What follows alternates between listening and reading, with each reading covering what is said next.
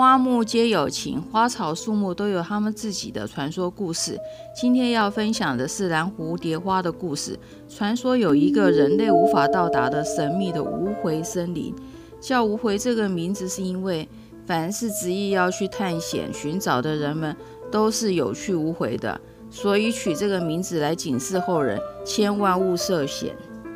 话说无回森林的云深之处有一个百花园。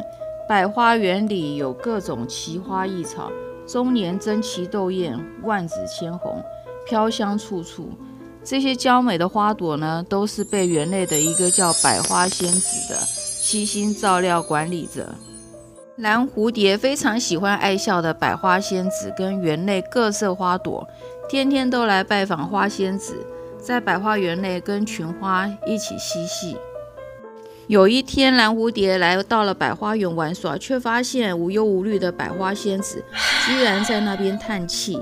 他连忙上前问原因，原来是仙子们的年度表演。百花仙子她原先预定好要排练的彩虹舞，却因为园内兰花家族的闭关修炼而无法完成。蓝蝴蝶听完就说：“这有什么难的呢？就把我变成蓝色的花朵吧。”百花仙子听到以后，狐疑地看着蓝蝴蝶说：“你可知道，一旦变成了花之后，你就得永远住在我的百花园了？”蓝蝴蝶说：“我愿意啊，我好爱百花园，我好喜欢你们。所以蓝蝴蝶花的花语是愿和你在此相遇。”于是百花仙子就把蓝蝴蝶变成了蓝蝴蝶花。当微风拂过，蓝蝴蝶花就会像蓝蝴蝶般的翩翩起舞。